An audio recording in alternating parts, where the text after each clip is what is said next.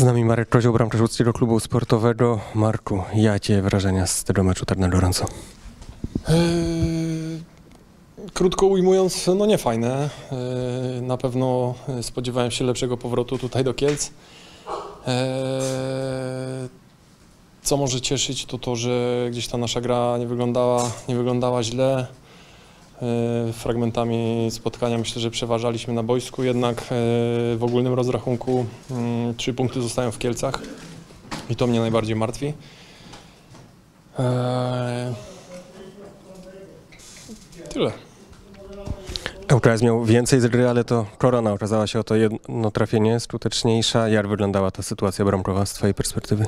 Zawsze powtarzam, no liczą się kon konkrety. Można, można grać brzydko, jednak punkty e, zgarniać. E, sytuacja wyglądała tak, e, jak każdy widział. No, piłka po uderzeniu odbiła się od e, słupka, następnie ode mnie. Ja już byłem bezradny przy tej dobitce, także taka trochę przypadkowa, ale, ale no, liczy się to, co w sieci. Także dzisiaj my e, wracamy ze zwieszonymi głowami do Łodzi.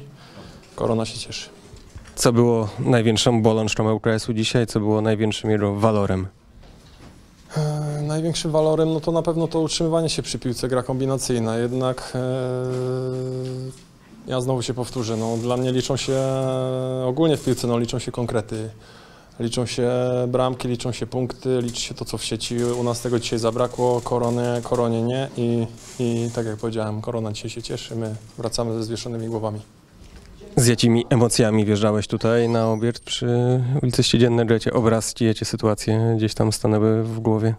No, z dużymi emocjami na pewno. Spędziłem tutaj fa, fajne dwa lata. e, troszkę w tym mieście przeżyłem, troszkę w tym klubie przeżyłem, także na pewno zawsze serce mocniej zabije, a, a, a wspomnienia fajne, także, także zawsze miło wrócić do Kielc.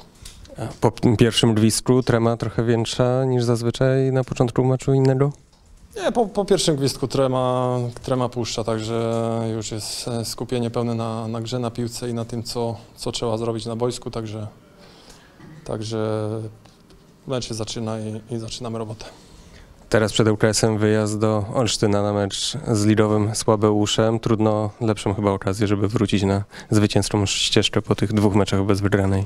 No dokładnie, no przede wszystkim nie nazywałbym też tak e, przeciwnika, bo, bo, bo to jest taka liga, gdzie każdy z każdym może wygrać i, i każdego trzeba szanować. E, na pewno trzeba pojechać, e, dać jeszcze więcej z siebie i, i, i, i, po prostu no, wyszarpać te punkty, bo, bo punkty są nam e, potrzebne i, i na pewno na pewno taki to mecz będzie. E, będziemy się starać przywieźć z wyjazdu teraz trzy punkty.